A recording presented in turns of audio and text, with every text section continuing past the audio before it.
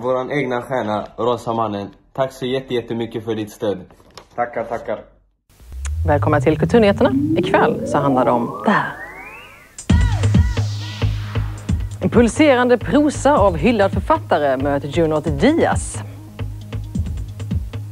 Möt också musicerande skottar med politisk agenda, Glass Vegas. Och så har akademin fått en ny ledamot.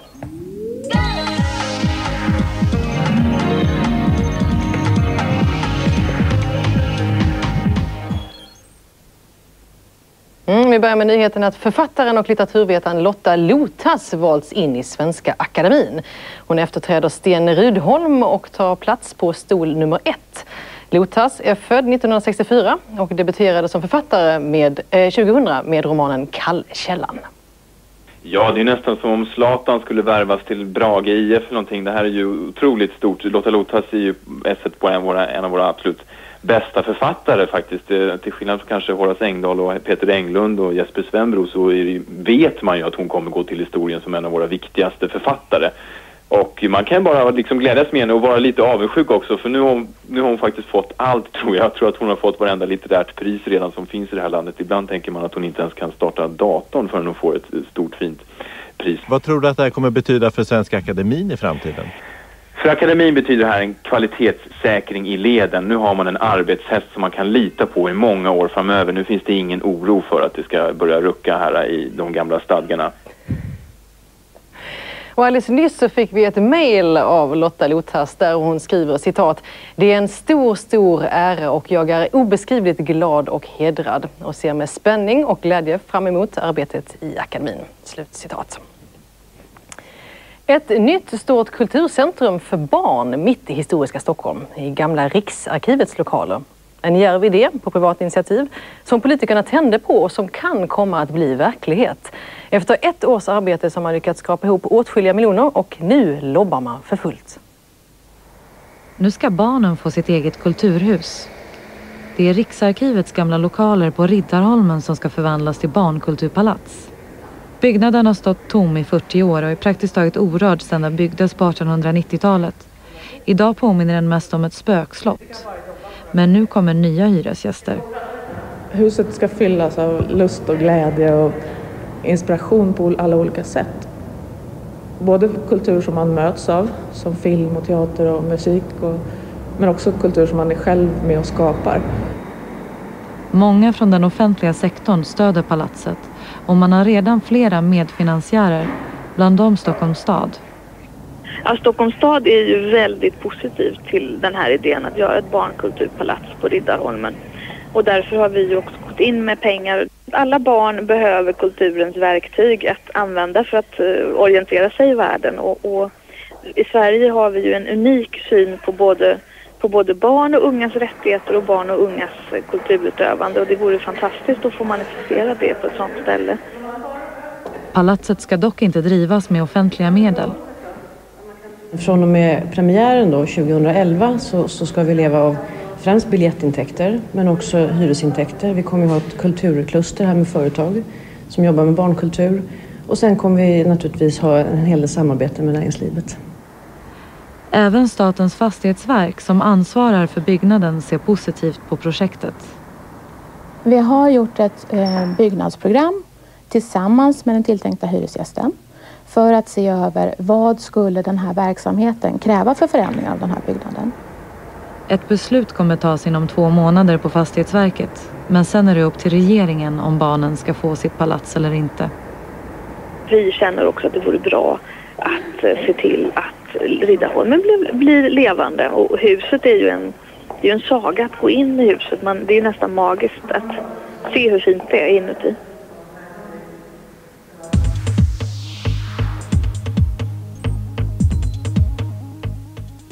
Den utnämndes till världens vackraste stol av amerikanska tidskriften Interiors år 1950.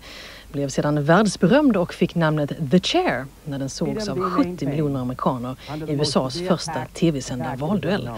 Det var tv-bolaget CBS som hade köpt in ett dussin stolar på begäran av John F Kennedy som hade ont i ryggen och tyckte den var bekväm. The Chair är formgiven av dansken Hans Wegner som ligger bakom flera klassiker.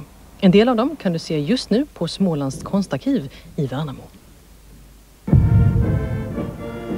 Efter 15 år med utställningar om allt från sex i antiken till modern erotisk litteratur har Danmarks enda sexmuseum, Museum Erotica i centrala Köpenhamn, nu tvingats stänga för gott. Intresset var helt enkelt för litet.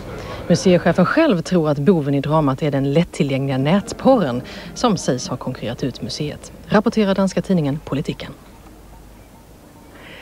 Med en pumpande prosa och ett högenergiskt berättande har dominikanamerikanen Junot Diaz skrivit in sig i litteraturhistorien med sin Pulitzerbelönade roman Oscar Wows korta förunderliga liv.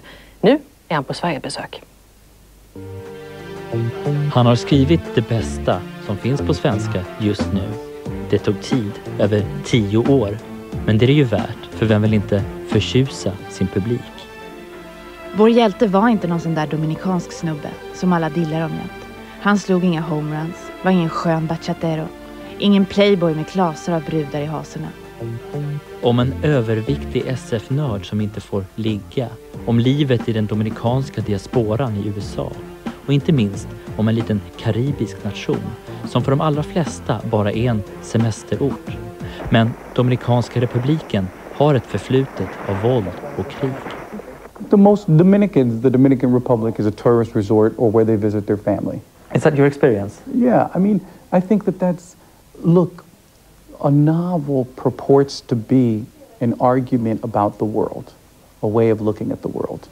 And part of the argument always in a novel is showing something new.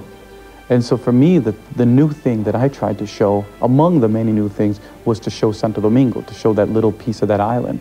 Hör på här Palomo. Du måste få tag i en muchacha i Meteselo. Då fixar sig allting. Börja med en fea. Coge den där fean i Meteselo.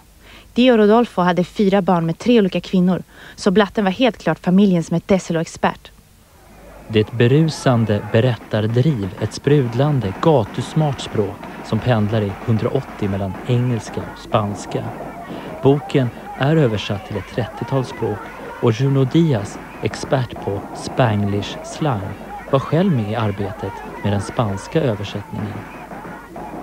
We found a whole new set of codes that in English work really well in Spanish. For example, the word feeling, you wouldn't realize it, but the word feeling is a very important English word in Spanish. Anywhere you go in Latin America, people use the word feeling. Yeah? So we found words like that, words that have a very good charge and play well, play well in, um, in Spanish. Han kan snacket på gatan, men med universitetsutbildning i ryggen talar han som en skolad. Över tio år tog det som sagt att skriva boken och ändå har inte energin gått förlorad. Yeah, that's the big trick because the you know what's hard to convince people is that the energy, the push, the narrative uh, the narrative momentum is an artifact. That's just something that you make up, you know, it's not a real organic thing, it's something literally constructed.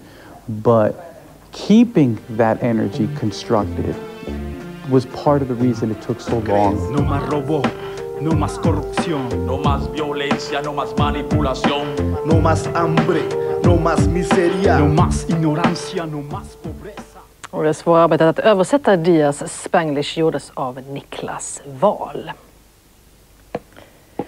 Nu till konstmusik i framkant. Ett verk för blås, tre lok och en rälsbuss.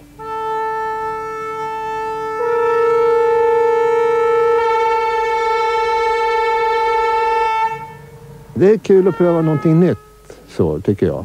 Som man aldrig har gjort förut. Och starka ljud och grejer. Och det ska bli spännande att se om vi kan få till någonting så att det blir lite... Ja, det blir en upplevelse för allihopa. Det är första gången de repeterar det specialskrivna stycket tillsammans och ingen vet än om idén ska fungera i verkligheten. För instrumenten är valthorn, trumpet, tre lok och en rälsbuss. Det går att göra annorlunda saker och det är skojigt att göra det. Gå lite utanför de traditionella ramarna. Att man inte får blunda för det. Utan ta det på, vi tar det på allvar. Djupt allvar. Salut för trumpet, valthorn och lok kommer att uruppföras på järnvägsstationen i Nora imorgon. Det blir invigningen av kulturfestivalen Noranatt.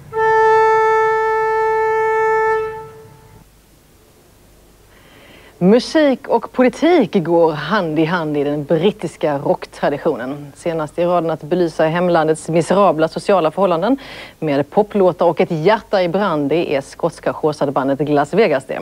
Idag är de i Sverige.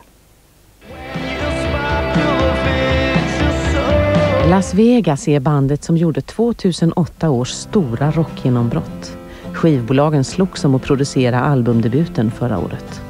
Det började med James Allen och hans gitarr. Han skrev låtar med självutlämnande samhällskritiska texter om frånvarande fäder, om det hårda livet i Glasgow.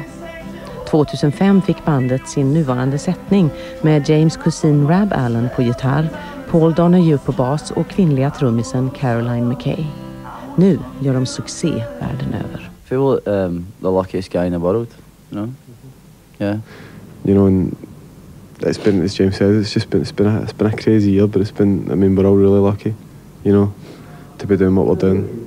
So it's not, I don't think it's quite a natural thing. we had we, we had a lot of belief in ourselves. It, wa- uh, everything that happens is a little bit surprising because it's happening to you. But after a while, you just you get used to it, and it's it's been amazing. And as James says, we are four really, very lucky people that we get to travel the world and, and do what we do, what we love. Your friends back home, how do they react to what's happening to you?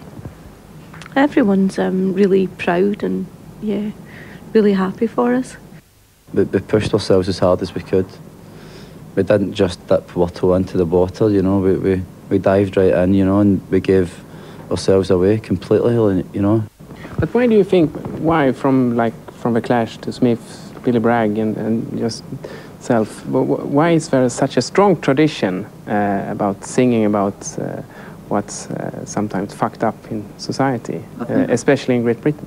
Well, I, th- I think I think before all these artists, you know, if you've got like if, between Edgar Allan Poe and Robert Burns, you know, those poems can um, recognised either the pain or the euphoria in whoever's actually reading the thing, you know, and that's always been the way. And for whatever reason, that connects with human beings, and that's what they need sometimes.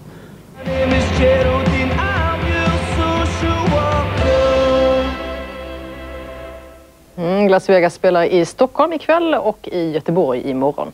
Och från musik och politik till idrott och politik.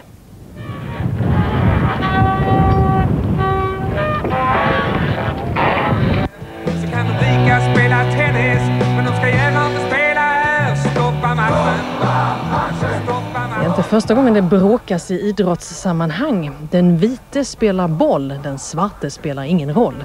Så skanderades när Davis Cup-matchen mot Rhodesia stoppades i Båstad 1968. Idag enas antifascister och nazister i gemensam kamp mot Israels politik bland tennisbollar och gatsten i Malmö.